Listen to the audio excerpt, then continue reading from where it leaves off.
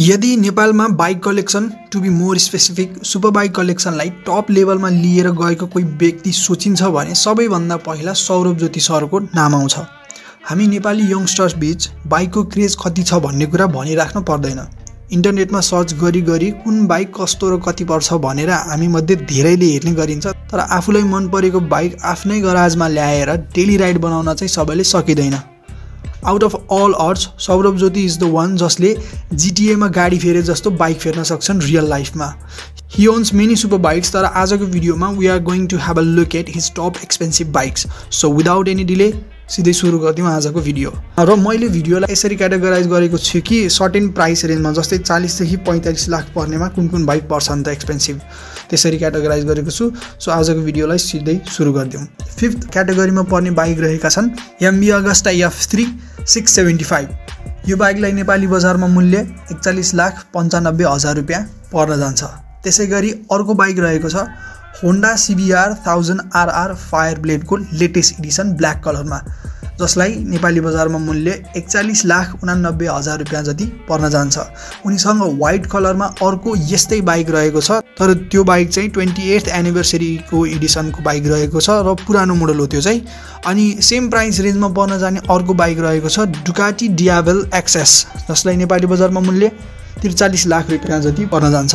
त्यसै गरी प्राइस रेन्जमा लेभल अप भइसके पछाडि फोर्थ क्याटेगोरीमा पर्न गएको बाइकहरू छन् Harley Davidson iron eight eighty three जसलाई नेपाली बजारमा मूल्य पैँतालिस लाखभन्दा बढी पर्न जान्छ।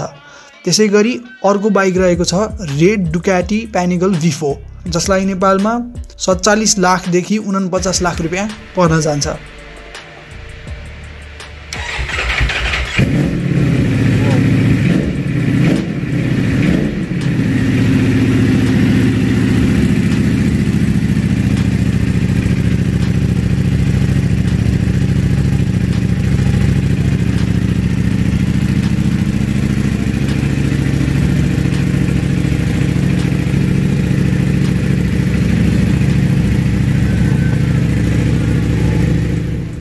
त्यसै गरी थर्ड क्याटेगोरीमा रहेका छन् तिनवटा बाइक र ती हुन् MB Agusta Brutale eight hundred RR MB Agusta Dragster eight hundred RR America limited edition जुन चाहिँ अमेरिकन झन्डाको कलरमा बनेको छ यानि कि रातो र निलो कलरमा मेनली अनि अर्को रहेको छ MB Agusta Dragster eight hundred RR Pirelli edition MB Agusta Brutale eight hundred आरआरलाई चाहिँ लगभग पैँतालिस लाखदेखि अडचालिस लाख रुपियाँ पर्न जान्छ। लगभग त्यही सेरोफेरोमा। पैँतालिसभन्दा थोरै कम हुन सक्यो अडचालिसभन्दा धेरै हुन सक्यो या त्यहाँ बिचमा पर्न पनि सक्यो। थोरै प्राइस रेन्ज माथि तल हुनसक्छ MB Agusta Dragster eight hundred RR American limited edition र MB Agusta Dragster master eight hundred RR Pirelli एडिसनलाई चाहिँ पचास लाखको सेरोफेरोमा पर्न जान्छ। र सेकेन्ड क्याटेगोरीमा रहेको बाइक छ एमबी अगस्टा यफो जसलाई नेपाली बजारमा मूल्य सन्ताउन्न लाख नब्बे हजार रुपियाँ पर्न जान्छ। र उनीसँग भएको सबैभन्दा महँगो बाइक रहेको छ MB Agusta Brutale eight hundred RR LS फोफो edition Lewis Hamilton forty four edition यो बाइक चाहिँ नारा अटोसोमा राखिएको थियो र उनले यसलाई त्यहीँ किनेका थिए। यो बाइकलाई नेपालमा त्रिहत्तर लाख नब्बे हजार रुपियाँ पर्न जान्छ। सो यिनै नै थिए सौरभ ज्योति सरका सबैभन्दा महँगा क्याटेगोरीमा पर्ने बाइकहरू। यस्तै भिडियो नछुटाउनको लागि चाहिँ च्यानल सब्सक्राइब गर्नुहोला। Take care bye